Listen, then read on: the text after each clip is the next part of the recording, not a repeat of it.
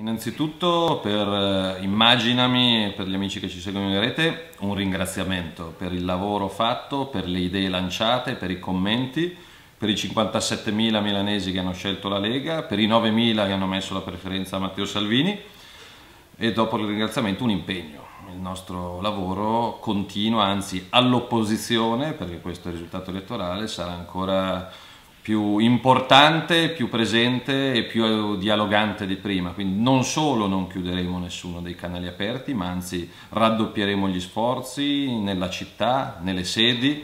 eh, per continuare a parlare di cultura, per portare avanti i progetti che abbiamo presentato in campagna elettorale in cui credo, quindi dalle case dell'acqua alle case per i single, dalle biblioteche aperte la sera a San Vittore che diventa la grande biblioteca europea, continuiamo a raccogliere proposte, idee, a confrontarci, perché secondo me spassionatamente su questo ha perso il centrodestra e la Moratti a Milano, sulla mancanza di dialogo, sulla mancanza di confronto e sulla mancanza di ascolto.